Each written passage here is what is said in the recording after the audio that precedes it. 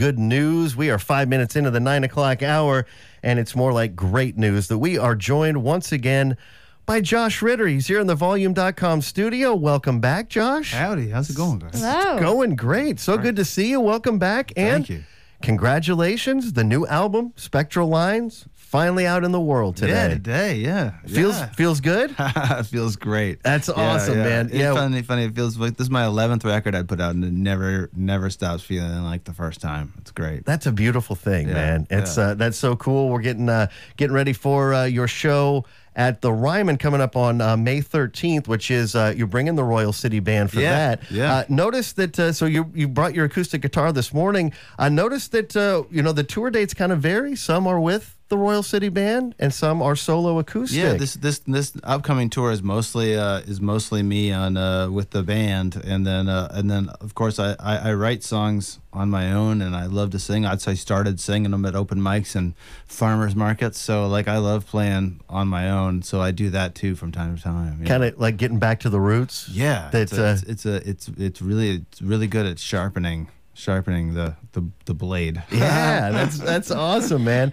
Uh, so yeah, we've uh, we've been playing that uh, lead single uh, and loving uh, the song as well uh, for your soul. Thank you. Sounding sounding great. So. Um, Actually, do you want to start off? Maybe we'll play a tune for us, and then we'll chat a little bit about the making of the record. What uh, what song you want to play for us first? This song is called Strong Swimmer. Strong Swimmer. We've got Josh Ritter live here uh, in the Volume.com studio, streaming at Volume.com, and live here on Lightning 100.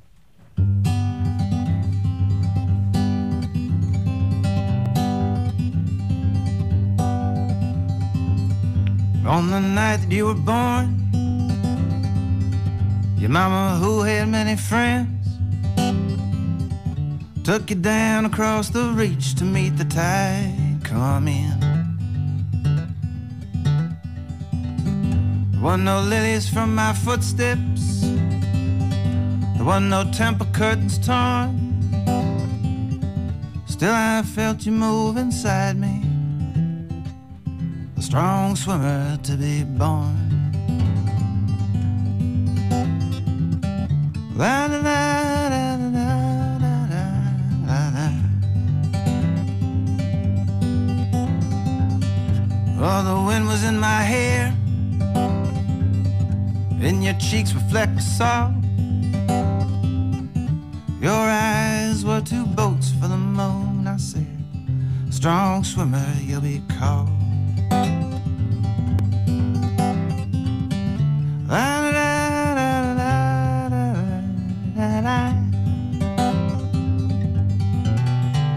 Now I cannot believe to see the leagues that you have swum.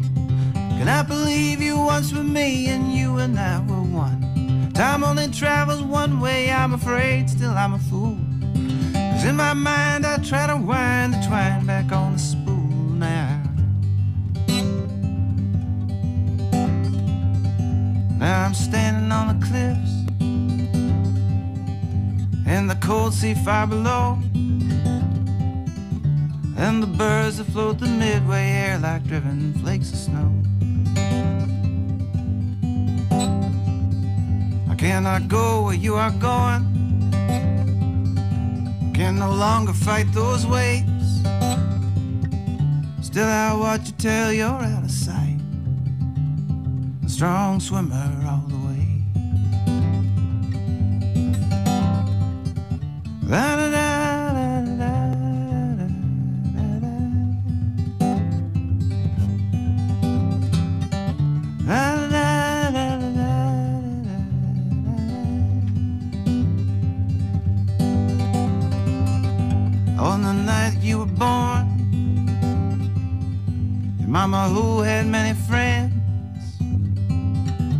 Took you down across the reach to meet the tide.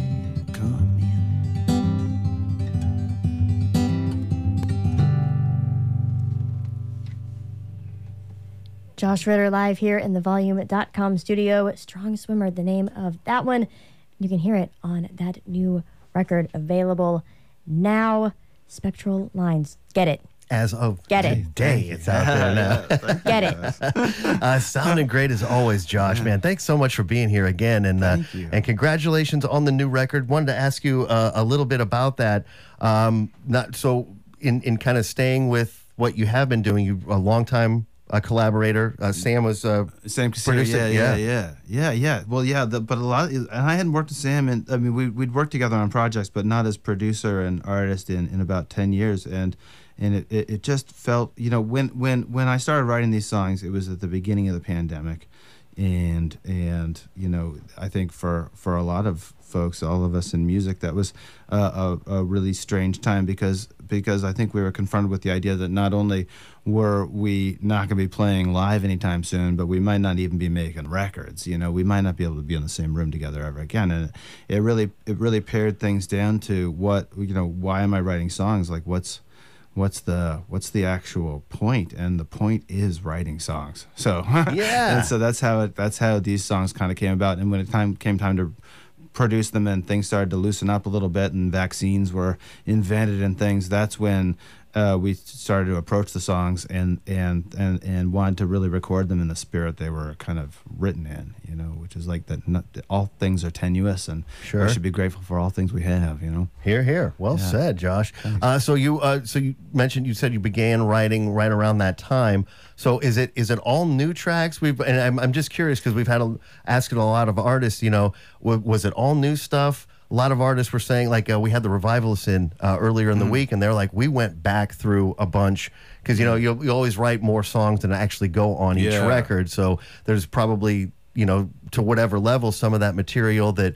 Oh, I'll revisit that, Oh, or it doesn't fit on this record. Was Absolutely. was there some of that, or was it Yes. all new? Okay, Yeah, you know, well, there it was not so much going back so much as uh, as as as you know when I, I never like choose which songs I'm gonna write. I just sit down and I write, and that song uh, will. I sometimes feel like okay, this could go over here in this bucket of songs that kind of it lives with. Sure. You know, and, and but so much about making an album is is cutting the stone to begin with to, to turn into a statue, and really that cutting the stone is is is going to the project with say 30 songs and then paring it down to the ones that truly fit together Yeah. and form like a cohesive piece. So it's always so I'm I'm all I, I have songs that I've never put on anything that are always in my consideration for will they fit somewhere. But but these were mostly ones that were written dealing with that time, the pandemic, the loss of my mom, uh, the, that that kind of profoundly unsettled time. Uh, uh, when the songs finally started coming, those were those were the ones that really attracted me in terms of making a record. yeah, Yeah. and you kind of get to that point where it's like it, it,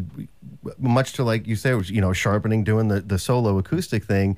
It just it kind of just comes pouring out of you. like, Yeah. you know, you write one, and then you there's an idea for another one that wasn't there when before you started the, the one you just were working on. I, I feel thing. sometimes like with with creativity, it's funny like that you say that because th- I love the trick where the where the magician pulls out the handkerchief out of his sleeve and it's connected to like 500 other. it just keeps going and You know, going yeah. and going. Yeah. That- That's going. how they seem to work. They are all connected. They're tied by the tail. Right on. Uh, again, we've got uh, Josh Ritter joining us here in the volume.com studio, uh, getting ready for uh, Josh and the Royal City Band. They're playing a show out at Ryman Auditorium. It's coming up uh, Saturday, May 13th. They're going to give you a chance to call us here and uh, win some tickets. Uh, and of course, we are streaming at volume.com as well. Uh, do we have some, uh, some anybody on the chat have we any do, questions? We do have a question from the chat for you. How does it feel to have Bob Dylan cover a song that you wrote? it, it, it, feels quite rarefied and uh, it feels uh, it's surreal and uh, and uh, and just you know I wrote I wrote the song he he sang. I wrote that 25 years ago in in in, in the stairwell of my dorm in college and and I think that if that kid could have known that that that would one day happen um, uh, I wonder what that would have been like. But like to, to to know that I was on the right track the whole time was a a profound experience. Yeah, totally amazing. Nice. That's awesome. Uh, any any more on the chat right now, Mel? Or That's all we got for now. Okay, right now we'll uh, we'll uh, ask Josh if uh, he wants to play another song for us Sure, here in the yeah. studio. oh, I'll sing this song. This I want to send this out to the Tennessee Three here.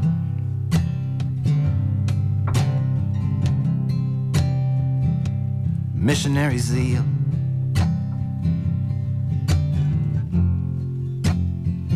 Mercenary eyes. The world puts its whole foot down on the little guy and grinds him on down.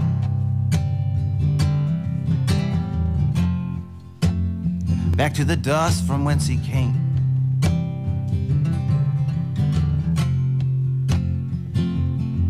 Someday there's gonna be justice. Will it be today?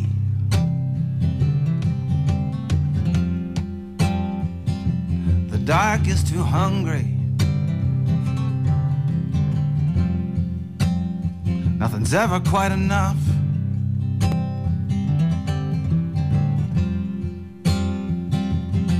So throw both arms around the whole world and the ones you love. And give them everything you have.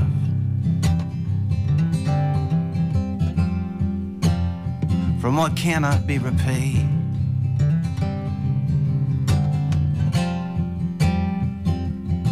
Someday there's gonna be justice. Will it be today?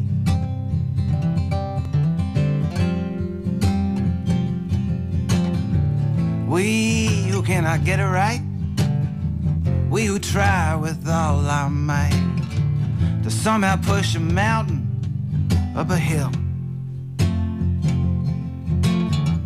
We who are not deities, we who speak in blasphemies, we whose time has not yet come but will.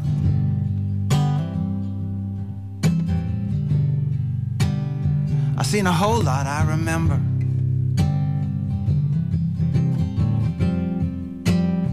Things that I cannot forget.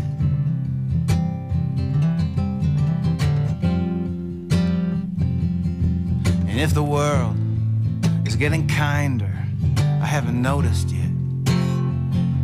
But if we're gonna make it, things are gonna have to change.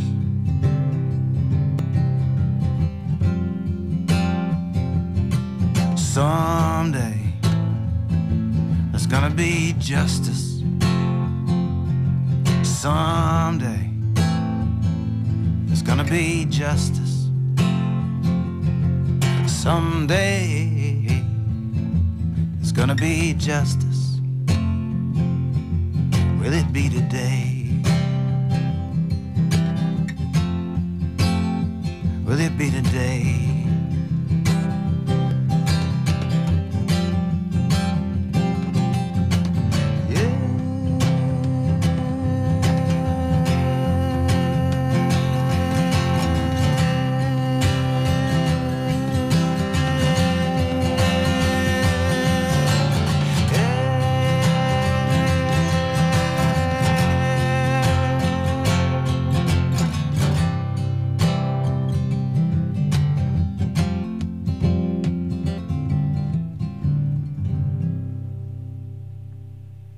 Once again, Josh Ritter live here in the volume.com studio and streaming over at volume.com slash lightning 100, which is where that chat is, which is where you can ask questions and say things. And we do have a comment in here from uh, Julie Bird that said she always loves catching you live. And uh, luckily for her, actually, uh, she is our winner of the contest we held before. So congratulations, Julie. I'm glad that you love seeing him live because you get to, because we're going to get you a pair of tickets to mm. that show. Someone's going to be reaching out to you. And if you would like to join Julie in those rankings, if you follow Lightning 100 on volume.com between now and that show day, you'll be entered for a chance to win tickets there See you, as well. Julie. See you there. Yeah.